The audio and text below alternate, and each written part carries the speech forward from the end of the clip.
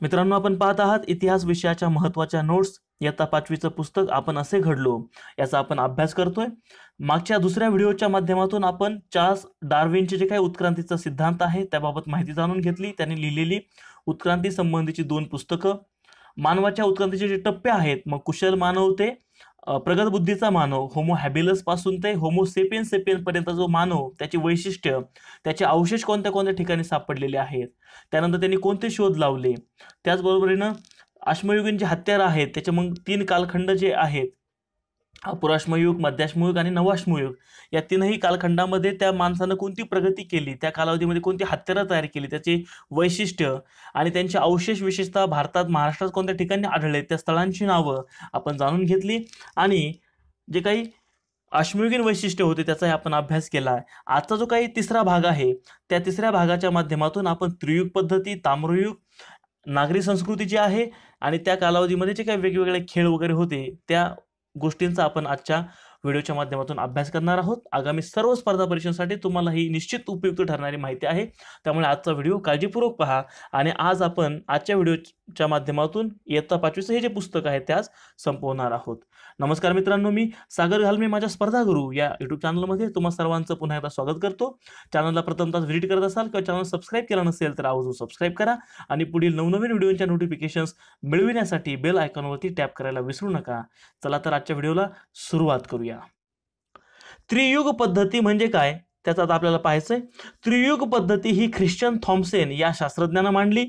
युरोपमधील संग्रहालयांमध्ये जमा झालेल्या पुराण वस्तूंच्या संग्रहाचं वर्गीकरण जे काही त्या ठिकाणी आहे त्या वस्तूंची वर्गवारी या ख्रिश्चन थॉम्सननं केली आणि ज्या ज्या ज्या पद्धतीनं त्याला काही वस्तू सापडल्या त्याच्यामध्ये दगडाच्या वस्तू सापडल्या तांब्याच्या वस्तू सापडल्या लोखंडाच्या वस्तू सापडल्या आणि अनुक्रमानं त्यांनी या वस्तूंचा वापर सगळ्यात पहिल्यांदा दगडांचा वापर झाला मग तांब्याचा वापर झाला मग लोखंडाचा वापर झाला आणि त्यांनी हे जे काही वस्तूंचा वापर झालेला आहे त्यानुसार त्यांनी त्रियुग पद्धती मांडलेली आहे. दगडांची हत्यारं ज्या काळामध्ये जास्त प्रमाणात वापरली गेली त्याला अश्मयुग असं नाव दिलंय. तांब्याची हत्यारे आणि इतर वस्तू ज्या काळात वापरल्या गेल्या त्याला ताम्रयुग नाव दिलं. लोखंडाची हत्यारं आणि इतर वस्तू ज्या काळात वापरल्या गेल्या त्याला लोहयुग असं नाव दिलंय. तर तांबे हा जो काही धातू आहे त्याचा वापर झाला म्हणून ताम्रयुग हे नाव दिलं. मात्र मित्रांनो सगळ्यात पहिल्यांदा शोध लागलेला जो धातू आहे तो सोने हा धातू आहे. मात्र सोने हा अत्यंत लवचिक असा धातू असल्यामुळं त्यापासून हत्यार बनवणं किंवा उपयोगाच्या वस्तू बनवणं हे शक्य नव्हतं. म्हणून सोन्याचा शोध सगळ्यात पहिल्यांदा लागला. मात्र त्याचा वापर फक्त दागिन्यांपुरताच सीमित राहिला. मात्र जो काही सर्वाधिक वापर होता हत्यारासाठी म्हणा किंवा शेतीची अवजारं म्हणा किंवा घरगुती वस्तू यासाठी तांब्याचा मोठ्या प्रमाणावर वापर झाला. तांबे हा धातू कठीण जरी असला तरी वस्तू बनवण्यासाठी तो अत्यंत लवचिक आहे आणि त्यापासून मजबूत स्वरूपाच्या वस्तू तयार होतात. म्हणून तांब्याचा एक युग त्या ठिकाणी पूर्णपणे झालेलं आहे. आता ताम्रयुगामध्ये पाहूया. ताम्रयुगाबद्दल माहिती पाहूया. ताम्रयुगामध्ये सगळ्यात महत्त्वाचा चाकाचा शोध लागला.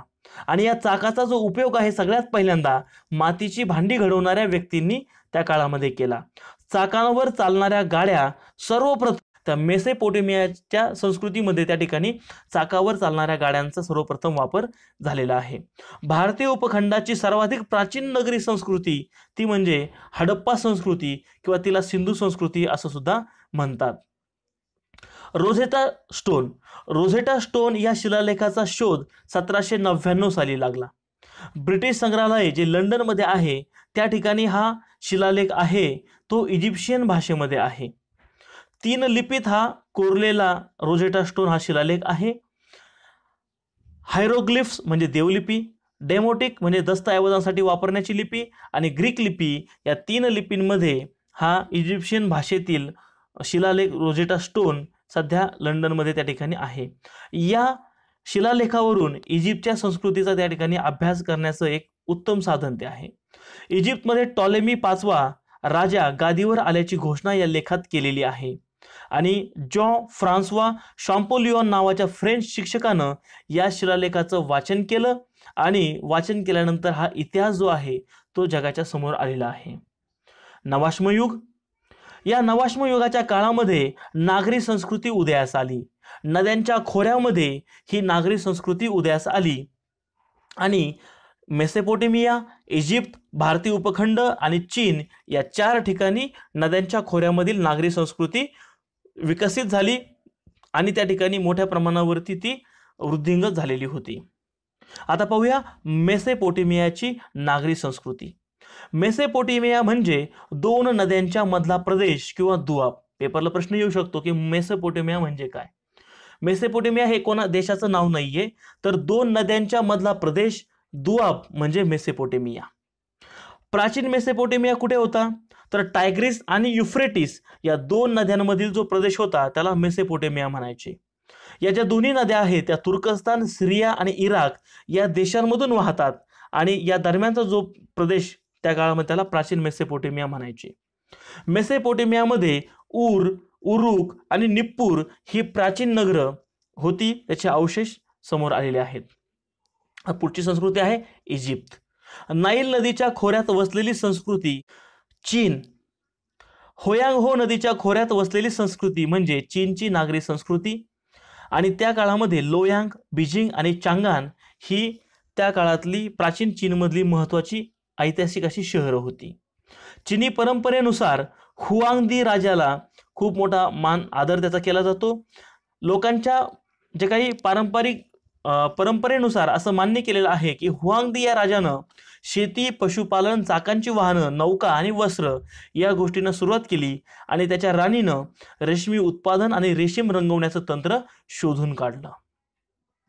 पुढची संस्कृती आहे ती म्हणजे हडप्पा संस्कृती. आपल्या भारतीय उपखंडाची संस्कृती भारतीय उपखंडातील सर्वात प्राचीन संस्कृती जी सिंधू नदीच्या खोऱ्यामध्ये सुरू झालेली होती. सिंधू नदी जी पंजाबमधील हडप्पा सिंधमधील मोहेंजोदडो जे सध्या पाकिस्तानामध्ये ठिकाण आहेत. सिंधू नदी जी सर्वात जास्त पाकिस्तानामधून वाहते या नदीच्या खोऱ्यामध्ये हडप्पा आणि मोहिंजोदडो या भागामधले अवशेष सापडलेले आहेत.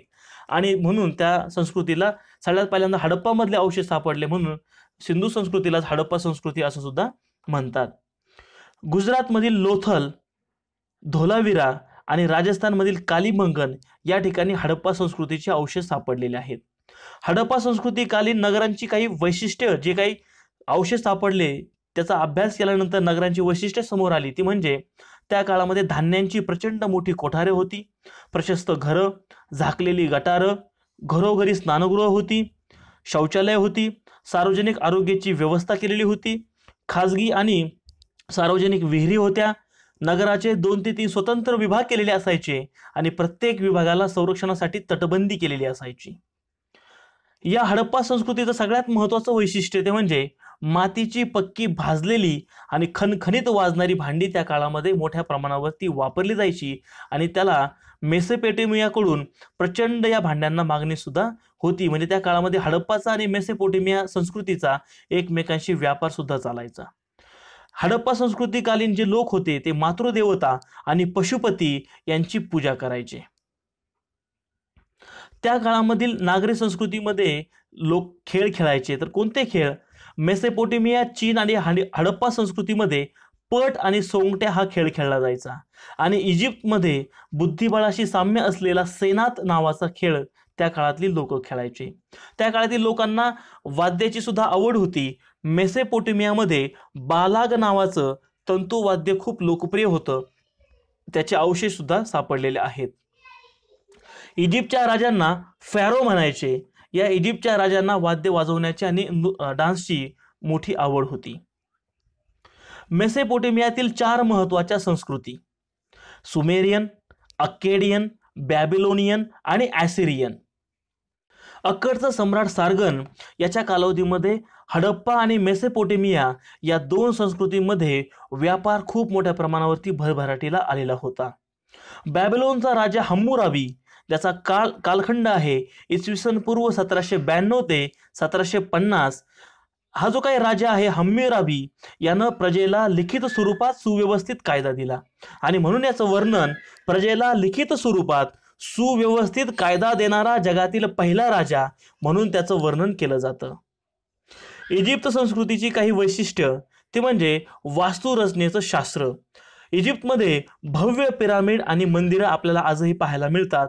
वास्तुरचना त्याचं शास्त्र जे आहे हे सगळ्यात महत्त्वाचं इजिप्शियन संस्कृतीचं वैशिष्ट्य आहे. पपायरस या वनस्पतीपासून कागद बनविण्याची कला या इजिप्त संस्कृतीतील लोकांना अवगत होती. निळ्या रंगाची झिलई दिलेल्या मातीच्या वस्तूंचं उत्पादन इजिप्तमध्ये मोठ्या प्रमाणावर केलं जायचं.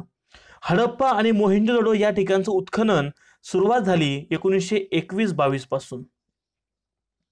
आता पाहूया प्राचीन नागरी संस्कृतीची वैशिष्ट्ये. नदीकाठच्या कृषीप्रधान स्थिर वसाहती हे पहिलं त्याचं वैशिष्ट्य. सर्व ज्या काही नागरी वसाहती होत्या नागरी संस्कृती होत्या या सर्व मोठ्या मोठ्या नदीच्या काठी त्या ठिकाणी अं, वसलेल्या होत्या. तांब्याच्या आणि कासे धातूचा वापर या कालावधीमध्ये मोठ्या प्रमाणावर झाला. प्रगत तंत्रज्ञान आणि विशेष व्यावसायिक कौशल्यांवरती आधारित व्यवसाय सुरू होते. पाण्याचं वाटप करणारी मध्यवर्ती यंत्रणा आणि विकसित सिंचन पद्धती होती. शेतीच्या आणि इतर वस्तूंचे नगरातील रहिवाशांच्या गरजेपेक्षा अधिक उत्पादन व्हायचं. विकसित लिपीवर आधारित लेखन कलेचा विकासही याच काळात झाला. दूरवर पसरलेला व्यापार आणि प्रगत वाहतूक प्राण्यांकडून ओढली जाणारी चाकाची वाहनं जलमार्गाचा उपयोग व्यापारासाठी वाहतुकीसाठी या काळामध्ये केला जात होता. सुव्यवस्थित नगर रचना प्रत्येक नगराला संरक्षित तटबंदी असायची फरसबंद रस्ते असायचे आणि अधिकारी वर्ग लोकांच्या सेवेसाठी असायचा आणि अधिकारी वर्ग आणि सामान्य जन यांच्यासाठी वेगवेगळ्या वसाहती असायच्या. प्रगत वास्तुशास्त्र आणि शिल्पकला हे सगळ्यात महत्त्वाचं वैशिष्ट्य आणि शेवटचं वैशिष्ट्य होतं ते म्हणजे गणित खगोलशास्त्र आणि वैद्यक यांसारख्या शास्त्रांचा विकास याच कालावधीमध्ये झालेला होता.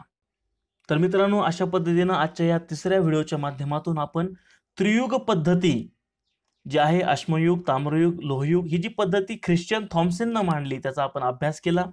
ताम्रयुगामधील जी काही महत्त्वाची संदर्भ आले त्याची माहिती जाणून घेतली. रोझेटा स्टोन जो आहे जो ब्रिटिश संग्रहालयामध्ये लंडन या ठिकाणी आहे. या शिलालेखामधून जी काही इजिप्शियन संस्कृतीबद्दल विशेष माहिती आहे तीही आपण जाणून घेतली. नागरी संस्कृतींचा जो काही नद्यांच्या काठ्यावरती उदय झाला त्यामध्ये मेसेपोटेमिया इजिप्त चीन आणि भारतीय उपखंडाची जी काही हडप्पा संस्कृती आहे याचाही आपण विशेषतः अभ्यास केला. त्यानंतर मेसोपोटियामध्ये जे काही चार संस्कृती उदयाला आल्या होत्या त्याचाही व्यवस्थित अभ्यास केला. त्या कालावधीमध्ये जे काही खेळ खेळले जायचे वाद्य वाजवले जायचे त्याचाही आपण अभ्यास केला आहे. आणि नागरी संस्कृतीची जी काही प्रमुख वैशिष्ट्ये होती तीही जाणून घेतली. आगामी सर्व स्पर्धा परीक्षांसाठी निश्चितपणानं उपयुक्त ठरणारी ही माहिती आपल्याला आज व्हिडिओच्या माध्यमातून आपण जाणून घेतलेली आहे. संपूर्ण व्हिडिओ तुम्ही पाहिलात. पूर्ण तीनही व्हिडिओंची मालिका आपण संपूर्ण पाहिलीत आणि हा जो काही पाचवीचं महत्त्वाचं पुस्तक आहे ते अभ्यासलं त्याबद्दल मी आपला आभारी आहे. आपल्याला हा- हे जे व्हिडिओ आवडले असतील तर नक्कीच त्याला लाईक करा. काही बदल असतील तर नक्कीच सुचवा आणि इतरही तुमच्या मित्रांना शेअर करायला विसरू नका आणि चॅनल आवर्जून सबस्क्राईब करा. आणि नवनवीन माहितीसाठी पाहत रहा. आपला आवडता चॅनल स्पर्धा गुरु. धन्यवाद.